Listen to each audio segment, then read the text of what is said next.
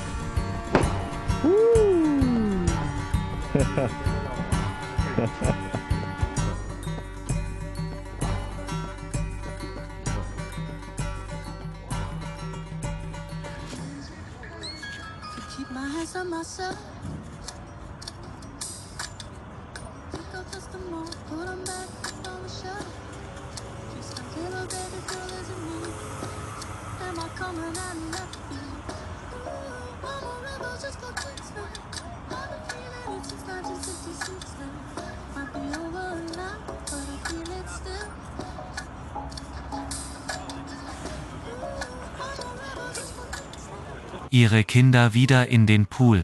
Wie können Sie es wagen? Ernsthaft? Also musste ich hierher kommen.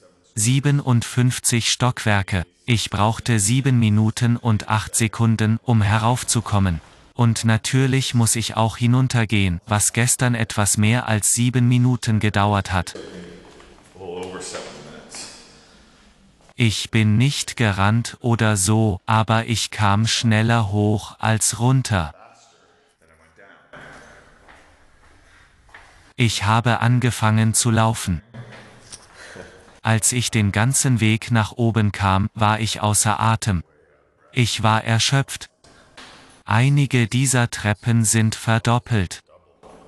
Ich habe gerade einen langen Weg zurückgelegt und bin immer noch auf 55.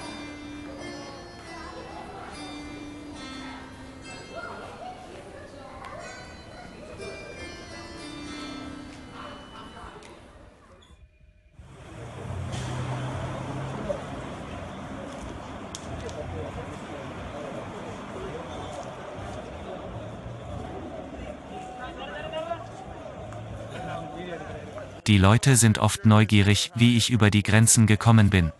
Deshalb sind die Leute oft neugierig darauf, wie ich mit dem Fahrrad Grenzen überquere. Es hängt von der Grenze ab, aber die, die von Malaysia nach Singapur überquert wird, in Singapur nach Malaysia. Ich steige einfach in die Motorradspur ein.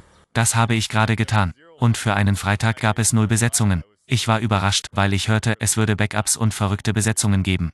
Aber das war's dann auch. Nach 30 Tagen habe ich Singapur verlassen und bin jetzt in Malaysia. Ich werde fünf Tage warten, bevor ich nach Singapur zurückkehren, mein indonesisches Visum erhalten, nach Malaysia zurückkommen und dann mit dem Kajak nach Indonesien und Sumatra fahren kann. Ganz einfach. Es gibt Sunshine und Rollo, sie wollen wirklich mit mir kommen. Ich habe die letzten Tage bei ihnen verbracht und bin dabei, Malaysia zu verlassen und zurück nach Singapur zu gehen. Also habe ich Singapur verlassen, weil mein Monat dort vorüber ist und ich für ein paar Tage nach Malaysia kommen muss. Dann kann ich zurück nach Singapur gehen, um mein indonesisches Visum zu bekommen, und dann muss ich nach Malaysia zurückkommen, um mit dem Kajak nach Indonesien zu fahren. Es ist ein leichter Regen, der meiner Meinung nach für ein angenehmes Radfahren sorgen wird. Wahrscheinlich werde ich ein bisschen nass. Sollte nett sein. Ich bin also zurück in Singapur und wohne bei diesem Ehepaar, das ich von einer Fahrradgemeinschaft namens Warmschauers kennengelernt habe. Im Grunde genommen sind es Menschen, die andere Radfahrer beherbergen, die mit dem Fahrrad unterwegs sind. Ich musste mir ein Visum für Indonesien besorgen, damit ich dann nach Malaysia zurückkehren und ein Kajak besteigen kann, das mir ein anderer Abenteurer in Singapur leiht. Ich habe ein Kajak mit kurzem Inselhüpfen, etwa zwei bis drei Stunden Inselhüpfen, von vielleicht 10 bis 25 Kilometern und ich habe etwa 10 davon. Dann komme ich auf die Insel Sumatra und dann muss ich einen Fluss hinauf paddeln, um dorthin zu gelangen, wo ich hoffentlich mein Fahrrad verschifft bekomme, und dann bin ich auf Sumatra und fahre mit dem Fahrrad etwa 1000 Kilometer bis zu einer kleinen Kleinstadt, wo ich eine Weile bleiben werde, ein paar Videoschnitte mache und ein paar tolle Geschichten mit Ihnen teile. Ich danke Ihnen. Frieden.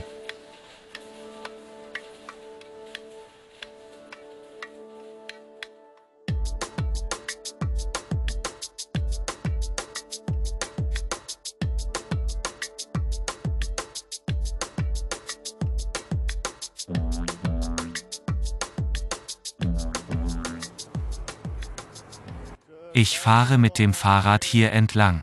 Ich bin von Singapur nach Malaysia eingereist. Oh, oh, oh boy.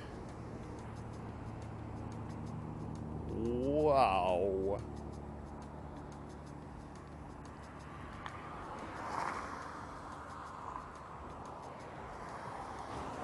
Dieser Kerl würde einigen Schaden anrichten. Sehen Sie sich seine Reißzähne an. Ich glaube, das ist eine malaysische Grubenotter. Ziemlich tödlich. Es hat vor kurzem jemanden getötet. Aber es wird mich nicht töten. Legoland ist gleich da drüben. Und ich bin fast bei Todd, wo ich übernachten werde. Ich muss nur um die Ecke dort hinaufgehen. Schauen Sie sich das an, ich habe zum ersten Mal ein paar neue Radschuhe bekommen. Neue Bremsbelege. Ich habe auch einen neuen Antriebsstrang für das Fahrrad bekommen. Ich werde es in eine Kiste werfen und hoffentlich kommt es nach Indonesien. Es ist auf dem Weg nach Sumatra, Indonesien. Hoffentlich kommt es sicher und gesund an. Glücklicherweise haben die Jungs hier einen Haufen zerbrechlicher Aufkleber darauf angebracht. Sollte gut sein. Die erste Etappe des Kajaks nach Indonesien besteht darin, das Fahrrad dorthin zu bringen. Einige Leute haben es für mich eingepackt, was eine Geldverschwendung ist, weil sie schlechter gearbeitet haben, als ich es getan hätte. Aber ich hoffe, dass sie einen besseren Job gemacht haben. Sie haben es zwar ein bisschen eingewickelt, aber sie haben die Schachtel nicht sehr gut gesichert, also bin ich nicht begeistert. Es hat mich zwar nur 20 Dollar gekostet, aber das ist eine Menge Geld. Der Versand kostet etwa 120 Dollar, was es wert ist, um mir ein gutes Fahrrad zu besorgen, wenn ich in Sumatra ankomme. Das Witzige daran ist, dass es bis zu 100 Dollar versichert ist. Ich würde den Wert meines Fahrrads auf alles auf etwa 1000 Dollar beziffern. Die Versicherung würde die Kosten für den Versand decken. Das ist eine gute Sache, ich rate mal. Ich glaube, er wird es bis dorthin schaffen. Ich glaube, dass ich vielleicht etwas verpasse, wenn ich dort ankomme, aber ich glaube, es wird es schaffen. Ich hoffe wirklich, dass es das schafft. Es wäre wirklich schlimm, wenn es nicht käme. Ja, ich lasse mir etwas einfallen. Ich habe gerade Todd und Hazel und Sansa und Lukas hier in Malaysia zurückgelassen. Mit wem sprechen Sie? Hm? Sie schreiben einem Freund eine SMS? Ich muss etwa 7,8 Kilometer zu meinem Kajak laufen.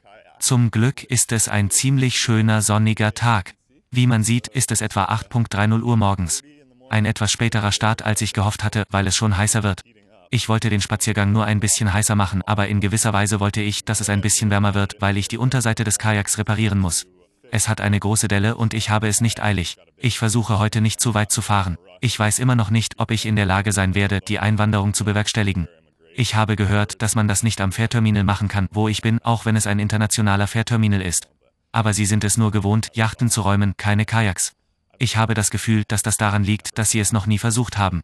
Ich hoffe, dass sie mich das machen lassen. Wenn nicht, werde ich mit dem Kajak zum anderen Fährterminal fahren müssen. Das große Problem, wie es bei großen Problemen häufig vorkommt, sind Menschen, die die Macht haben, zuerst Nein sagen und nicht bereit sind, ihre Meinung zu ändern oder sich zu öffnen. Oder sie wissen, dass es ziemlich gefährlich ist und wollen nicht dafür verantwortlich gemacht werden, wenn sie jemandem erlauben, ihr Land in einem Kajak zu verlassen. Wir werden also sehen, was passiert. Wenn sie mich da nicht rauslassen, könnte es ein langes Paddel mitten durch Johore Baru, die Stadt an der Grenze zu Singapur, werden. Ich müsste mir also mehr Sorgen machen, dass die Küstenwache und die Zollbeamten mich aufhalten. Außerdem müsste ich das Boot aus dem Wasser ziehen und durch die Stadt schleppen. Glücklicherweise müsste ich nicht auf den Schultern getragen werden. Ich habe Räder für das Kajak, also könnte ich es durch die Stadt rollen. Es wäre immer noch ein bisschen schmerzhaft, nicht leicht zu machen. Die Kajakreise nach Indonesien hat von Malaysia nach Sumatra begonnen. Ich habe etwa 300 Kilometer Paddelstrecke vor mir. Es könnten mehr als 500 sein, wenn ich nicht an einem Ort verschwinde, den ich hoffentlich räumen kann. Los geht's, das ist nicht der ganze Kram. Ich habe bereits einige Sachen zum Kajak gebracht, als ich gestern mit dem Fahrrad unterwegs war. Es war viel einfacher. Diese Gegend von Malaysia ist sehr interessant. Es gibt tonnenweise Bauten, tonnenweise Wohnungen, tonnenweise Infrastruktur, sehr wenige Menschen. Irgendwie scheint es, dass sie entweder die Höhe des Booms falsch eingeschätzt haben, den sie haben werden. Und ihnen gingen die Leute aus, die hier leben wollten, oder es gibt einfach verdammt viel Korruption, und ich denke, es könnte ein bisschen von beidem sein. Also wurde mir gesagt, dass ich diesen Yachthafen nicht mit einem Kajak verlassen kann, weil ich keine Papiere oder Registrierung habe, und das ist die einzige Möglichkeit dieser Agenten, dies zu tun. Anstatt ihnen also 20 Dollar zu zahlen, damit sie mich aus dem Weg räumen, was sie nicht tun würden, weil sie sagten, es sei unmöglich. Ich ging einfach zum Fährterminal, wo sie ihre Sachen erledigen, ging hinein, fragte nach der Einwanderungsbehörde und sie stempelten meinen Pass ab. Zuerst waren sie neugierig und stellten mir ein paar Fragen. Ich zeigte ihnen das Papier meiner Regierung, um ihre Bedenken zu zerstreuen. Ich zeigte ihnen, dass ich tatsächlich mit dem Kajak nach Indonesien fuhr und dass ich die Unterstützung meines Parlamentsabgeordneten hatte. Danke, Gord Johns. Er hat sich für mich eingesetzt. Ich glaube, ich bin mir vielleicht nicht sicher. Ich glaube, er hätte mich so oder so gehen lassen. Es war ziemlich einfach. Ich denke, es war eine ruhige Zeit und ich habe den richtigen Einwanderer gefunden, weil keine Bestechung nötig war. Es war einfach ein ziemlich unkomplizierter Stempel. Ich saß für ein paar Minuten in seinem Büro. Er nahm mit einem elektrischen Scanner Fingerabdrücke. Er hat meinen Zeigefinger gescannt. Ich glaube, Singapur nimmt Daumen, aber Malaysia nahm den Zeigefinger. Ich bin startklar. Es gibt hier ein paar Yachten, ein paar Kajaks, sogar ein Kanu. Und das ist mein Boot hier. Es ist eine Echo Beschich 540, entworfen von John Dock, dem legendären John Dock. Ja, es ist 5,4 Meter lang. Ziemlich normal aussehendes Seekajak. Es gibt einige Dinge, von denen ich sagen würde, dass sie ein bisschen schwach im Design sind, und das sind hauptsächlich diese. Sie scheinen definitiv eine Schwachstelle zu sein, wo sie Wasser einlassen. Aber mir gefällt die kleine Tasche hier vorne, in der man leicht zugängliche Ausrüstung verstauen kann. Und auch diese hinter mir und diese Luft alle einzeln abgedichteten Fächer. Das ist also ziemlich gut.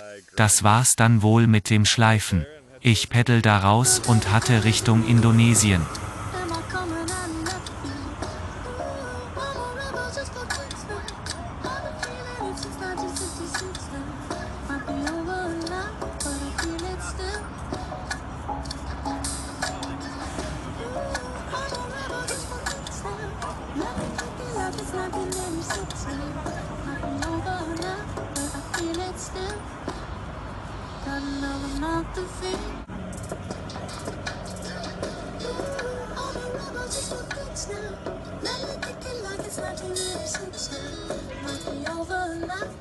Feel it still.